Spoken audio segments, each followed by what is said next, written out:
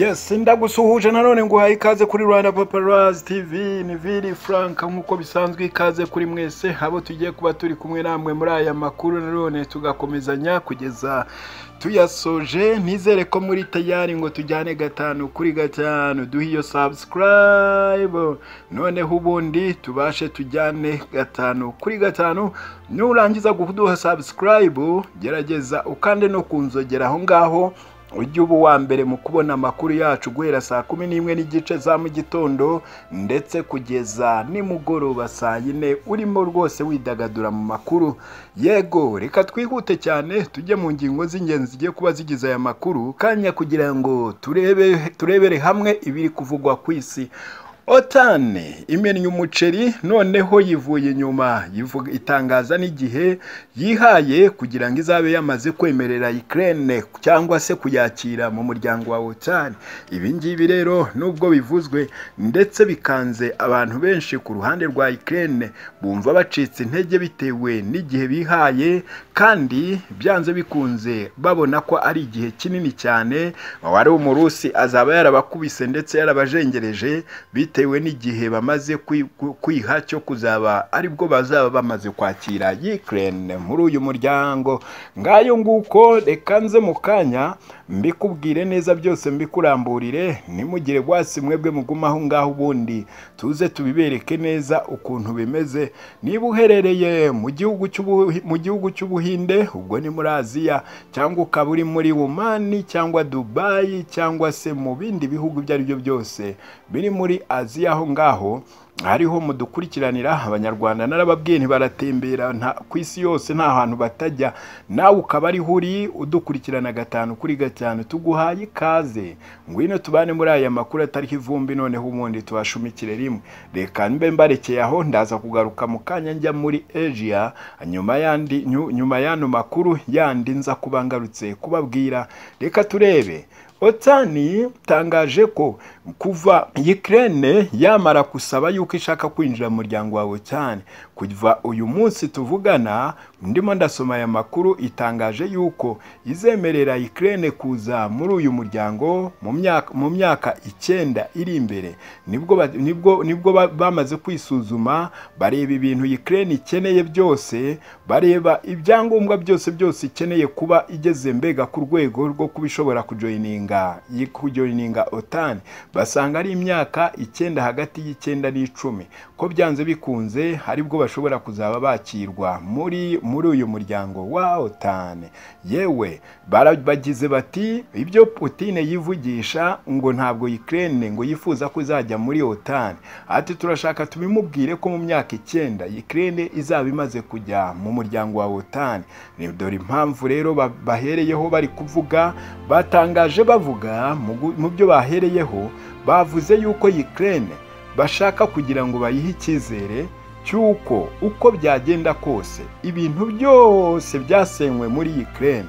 Umuryango wa wotani ndetse n'inshuti zayo byose byose bazongera bakabisana kandi bigasubiraho neza neza. Bati ntabwo dushobora kwakira igihugu mu gihe kimeze nk'aho kimeze nk'amatongo usanga amazu yose yaragiye asenyuka asenyuka. Ati ntabwo twakwakira igihugu kimeze uko nguko kandi byanze bikunze ibi ngibi bigomba kuba biri kiriya byose ari igihugu gifite ari igihugu ubona ko gihagaze neza ndetse nta n'intambara zikikirangwamo. Byanze bikunze muri iyo myaka icyenda ngo byakwanga byagenda gute. Bazaba bakoze ibishoboka byose ibikenewe byose muri Ukraine baramaze kubikora kugira ngo Ukraine bayishire mu muryango wa OTAN umva ikintu bahereyeho bari kuvuga. Bavuze ko Ukraine ikeneye mbere na mbere kubanza kuyisana kubanza kubaka amazu yabo ndetse no kugerageza kuba kubaha amafaranga yo kugenda bishyura abakozi ba leta ndetse n'abandi bantu bose. Mbega nk'amadeni bagiye bafite yose bakabanza bakayikuramo yose noneho bamara kuyikuramo bagatangira kureba mu nzego zose za gisirikare. Ngo ikindi kintu kizaba gikomeye cyane bazahita bakurikizaho ni ukubanza guha training. Igisirikare cya Ukraine bakagiha training ihagije ibereye kuba ibereye umusirikare wa OTAN mbega training aba afite noneho icyo gihe bamara kubaha iyo training na byo ubwo bizaba ari ikintu cya kabiri etape kuri etape bamaze kujyaho. Noneho niba bimara kubisoza bazafata turiya tubunda twose twari dusanzwe tuba muri Ukraine bari basanzwe barwanisha tw'amafuti twose bazahita badutwika. Ibi ni byo bari barimo kwikwa ibi ni byo bavugaga batangaje. Noneho ngo badutwike twose muri Ukraine bahashire imbunda nshyashya ibikoresho byose bya gisirikare bishyashya bikiri bizima ndetse byose byose ni ukuvuga ngo ibingibi ndi kukubwira. Babyihaye kuva ku munsi wo kuwa gatanu. Mbega ni ukuvuga ngo guhera ku munsi wo kuwa gatanu uyu mushinga bagiye kuwutangira kuwukurikirana mpaka kuzageza kuri iyo myaka kandi ibintu byose byagiye mu buryo.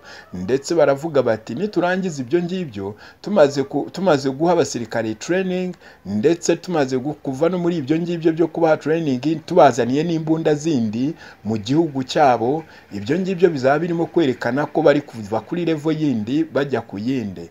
Noneho arakomeza aravuga ati hari ikintu hari ikintu Putin ahora avuga yuko atifuza yuko Ukraine izajya mu muryango wa OTAN ati ndashaka kubibabwira mu byumve. Bagize gutya baravuga bati ibi turashaka tubibabwire isi yose yumva. Tubibabwire banabyumve neza. Ukraine igomba kujya muri OTAN uko byagenda uko ariko kose. Kuko turayikeneye natwe nk'ubwacu byanze bikunze igomba kujyamo uko byagenda kose. Ndetse ikindi cya kabiri iyi si intambara barimo. Iyi ntambara barimo yo mu burasirazuba ndetse na kerisoni iyi ngiyi ifite igihe cyayo igomba kuba irangiriye. Umunsi tuzavuga ko iyi ntambara tuyirangije tukayirukana tukirukana abarusiya ku butaka bwa Ukraine. Byanze bikunze bizahita birangira. Ubu ngubu turacyafite ibyo turi kwiga kandi tubabwiye ko kuva uyu munsi ku wa gatanu ari bwo tugiye gutangira gushyira ibikorwa muri bimwe twababwiye byo kugira ngo dusukure Ukraine urumva mu kuyisukura ni no kuyishakira umutekano na byo birimo. Ubwo ni ukuvuga ngo hari izindi mbaraga tugiye gukoresha zimwe zikomeye cyane ndetse byanze bikunze ku buryo abantu bose bazabona ko ibyo twavuze ari byo. Ndetse ikijyanye no kuba twakongera gusana Ukraine ikongera ikaba igihugu cyiza ndetse buri muntu wese yifuza ibyo ngibyo twari twaramaze kubyigaho dufite abantu abantu ndetse abafatanyabikorwa bacu biteguye kuzatanga amafaranga ndetse bari aho ngaho y'amafaranga yabo arateguye kuzagerageza kongera kubaka Ukraine. Yewe uhereye ku nzu ya buri muturage yose yagiye isenywa n'abarusiya byose byose twiteguye kuzongera kubyubaka ndetse tukanabisenya.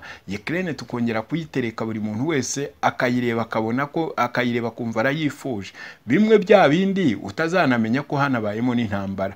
Muri ibyo ngibyo ni inshingano zacu tugiye gutangira guhera ku wa gatanu kubera ko uyu poroje ni ndende ariko tugomba kuyikora muri iyi myaka icyenda. Tukazaba twamaze byose ibintu kubikura ku murongo Ukraine tugahita tuyakira mu muryango wa OTAN. Naho ibyo kuvuga ngo ngo hari imbogamizi ngo Putin ngo avuga ko adashaka yuko Ukraine ijya mu muryango wa OTAN ni ukwibeshya cyane. Twebwe tuzayakira kandi izaba ifite sekirite izaba ifite igikoresho cyose gishobora kuba cyayirindira umutekano kandi nta muntu n'umwe uzaba ubasha kuyijegajeza ngo twumvise. Putin avuga yuko Ukraine ashaka kuzayikura ku ikarita y'isi. Hano bararahiye barirahira bivuye nyuma. Baravuga bati ntabwo bishoboka n'umunsi n'umwe yuko Putin ashobora kuba yasiba Ukraine ku mugabane w'isi. Ati ntabwo byabaho kereka otani idahari cyangwa inshuti za Ukraine zidahari. Ati na byo uvuga ko azakoresha imbunda zikomeye zikomeye azazizana mu ntambara. Turabitegereje kandi natwe tuzi ko tuzamusubiza. Uko byagenda kose amenye yuko abahanganye n'abari abagabo. Ati kandi byanze bikunze ibyo ibyo yigira natwe buriya tuba turi kumureba ibyo ibyo agerageza gukora akina tiyatire cyangwa akora tekinike natwe tuba turi kumureba. Ibi byose byavuzwe na otani n'abamemba ba otani ndetse n'abayobozi ba otani ni byo bagerageje kuvuga mbega urebye badisikitaga ku kintu ku busabe bwa Ukraine yabasabye ko bagomba kujya muri OTAN ariko bafata umwanzuro y'uko mu myaka icyenda Ukraine izaba yaremewe kuza mu muryango wa OTAN uko byagenda uko ariko kose. Ngayo nguko uwiteka guhezagire we twabanye muri aya makuru ndetse kugeza tuyarangije mwumvise ko Ukraine ko Ukraine bihaye igihe cy'imyaka icyenda kuba bayisubije ku murongo neza neza neza barayubatse noneho bakabona kuyakira